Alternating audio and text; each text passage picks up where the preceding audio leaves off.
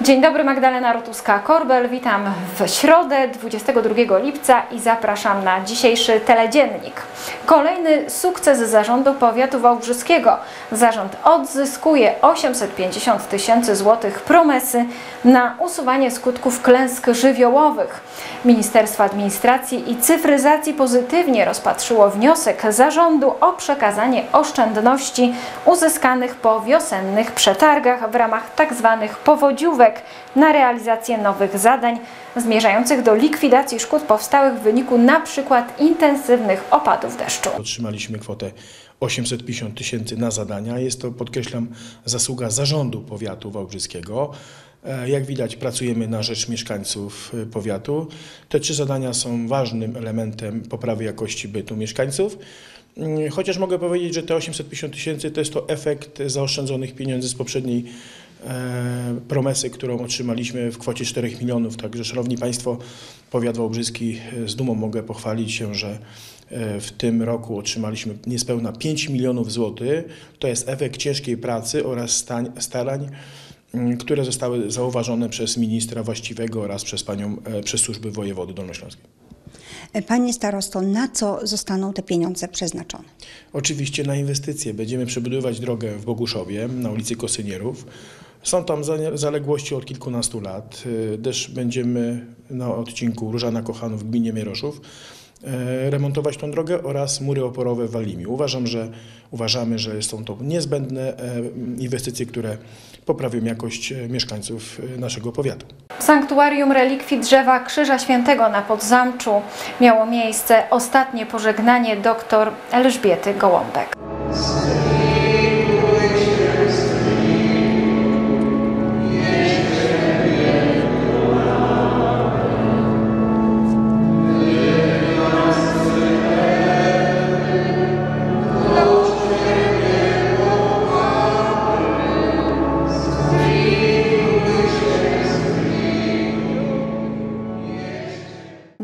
Elżbieta Gołąbek była znaną i cenioną specjalistką chirurgii ogólnej i chirurgii onkologicznej.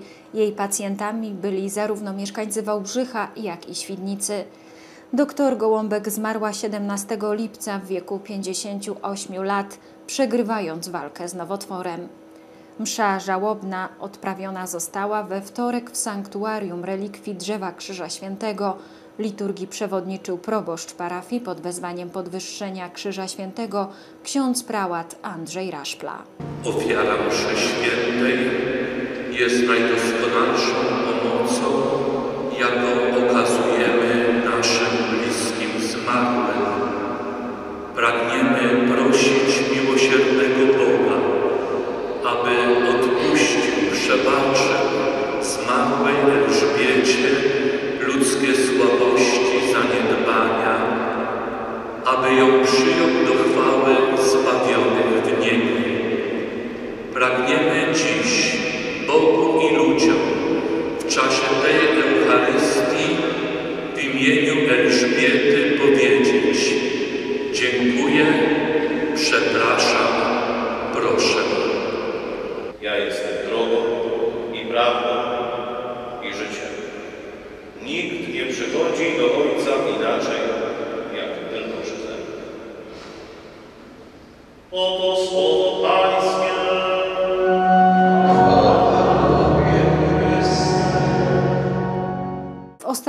drodze dr Elżbiecie Gołąbek towarzyszyli najbliżsi współpracownicy i pacjenci, którzy zawdzięczali jej życie.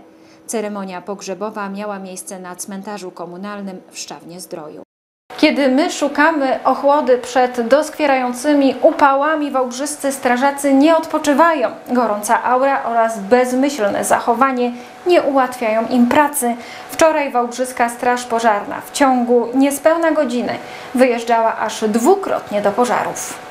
Pierwsze zgłoszenie strażacy otrzymali tuż po godzinie 16. Dwa zastępy Straży Pożarnej udały się na ogródki działkowe przy ulicy Długosza, gdzie płonęła altana. Po przyjeździe okazało się, że pożar jest potwierdzony, objęte całości płomieniami była ta altanka. Działania nasze polegały na podaniu prądów gaśniczych, szybkiemu ugaszeniu e, tego pożaru, no i później przeszukaniu pogorzeliska na ewentualność przebywania osób poszkodowanych. W działaniach uczestniczyły dwa zastępy Straży Pożarnej, ośmiu strażaków. Chwilę później kolejne dwa wozy strażackie zostały wezwane na ulicę Grodzką do pożaru piwnicy. Sytuacja się potwierdziła, silne zadymienie klatki schodowej. E, Nasze działania polegały na szybkim wprowadzeniu linii gaśniczej, ugaszeniu pożaru e, tej piwnicy. W piwnicy paliło się jedno takie pomieszczenie, gdzie składowane były przetwory oraz drewniane półki.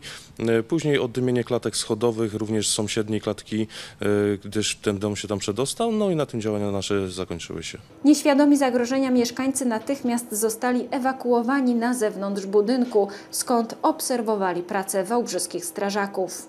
piwnicy tak w dym walił jak nie wiem co. I tam z tamtej strony, co mamy okna, tak samo czuć było ten dym. No. A później nam strażacy kazali y, opuścić się tego, żeby się nie zagazować, nie? Po kilkunastu minutach lokatorzy budynku mogli powrócić do swoich mieszkań. Choć pierwszy dzwonek zabrzmi dopiero 1 września, a wałbrzyscy uczniowie korzystają z upragnionych wakacji, on nie odpoczywa. Radny Ryszard Nowak wzorem lat ubiegłych właśnie kompletuje darmową wyprawkę, która za miesiąc trafi do dzieci z wałbrzyskich rodzin. Zeszyt, długopis, piórnik, linijka, kilka bloków i pudełko kredek, kolorowe, wymarzone i pachnące nowością. To niezbędnik każdego ucznia, który 1 września rozpocznie naukę. Wałbrzyski radny i wieloletni społecznik Ryszard Nowak zdaje sobie sprawę z tego, że nie każde dziecko będzie miało szansę z takim wyposażeniem rozpocząć rok szkolny. Dlatego jak co roku prowadzi zbiórkę artykułów szkolnych, które za miesiąc trafią do podopiecznych wspólnoty. Tamta akcja, która była 304 wyprawek w 2014 roku robiliśmy, rozeszło to się takim szerokim echem po Dolnym Śląsku i po polsku, że y, w Polsce, że stąd jest taki wspaniały e, efekt. Ja na rzecz właśnie tej wyprawki zrezygnowałem z urlopu, żeby dzieciaczki miały na z dniem 1 września przepiękne wyposażenie, żeby nie musieli się, prawda, krępować, bo dzielnica mnie wspiera, a ja wspieram dzielnicę, bo inaczej być nie może. Kolorowe plecaki, piórniki oraz niezbędne dodatki piętrzące się w gigantycznych ilościach w jego gabinecie to efekt ogromnej determinacji, zaangażowania i pracy wielu ludzi o dobrym sercu. Zgłosił się do mnie pan poseł Jagła z, z propozycją i z pomocą, że ufunduje 20 plecaków na tą właśnie wyprawkę szkolną. Ja pragnę tutaj pod, wymienić i, i podziękować, że pan poseł od kilku lat nas wspiera w różnych akcjach, czy to będą sportowe, czy wieczerza wigilijna, czy Mikołaj.